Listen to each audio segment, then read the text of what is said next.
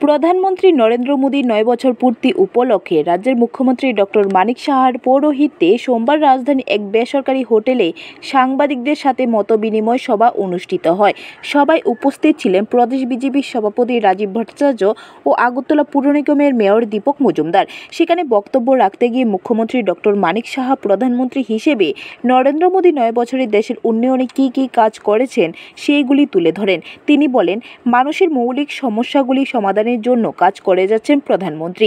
আত্মসম্মান নিয়ে যেন মানুষ বেঁচে থাকতে পারে তার ব্যবস্থা করেছেন প্রধানমন্ত্রী। প্রধানমন্ত্রী আবাস যোজনা গ্রামীণ প্রকল্পে এখনও পর্যন্ত ত্রিপুরা রাজ্যে দুই লক্ষ এক হাজার ঘর নির্মাণ করা হয়েছে। আটচল্লিশ হাজার ঘর নির্মীয়মান রয়েছে। প্রধানমন্ত্রী আবাস যোজনা প্রকল্পে কেন্দ্রীয় সরকার ত্রিপুরা রাজ্যকে আরও এক লক্ষ ঘরের অনুমোদন দিয়েছে বলে জানান মুখ্যমন্ত্রী। এই রাজীব ভট্টাচার্য আমরা কি কারণে আজকের এই পিপিটি যা ন বছর প্রধানমন্ত্রী কী কী করলেন, কী কারণে করছে সেই বিষয়ে এখানে উল্লেখ করেছেন।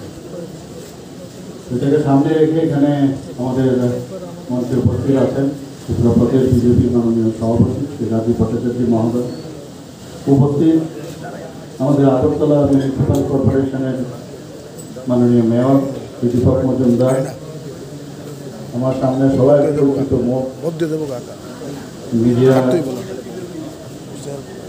যারা বিভিন্ন মিডিয়া হাউসের এডিটর্সরা আছেন বিভিন্ন সিনিয়র জার্নালিস্টরা আছেন এবং অন্যান্য যারা জার্নালিস্টরা আছেন এখানে মিডিয়া বন্ধুরা আছেন সবাইকে আজকে এই যে PPT presentation for nine year মোদিজির ওয়ার্ক এর জন্য আপনাদেরকে এখানে স্বাগত জানাচ্ছি। এই দিনের মত বিনিময় সবাই উপস্থিত ছিলেন রাজ্যের বরিষ্ঠ সাংবাদিকরা। ব্যুরো রিপোর্ট খবর ত্রিপুরা।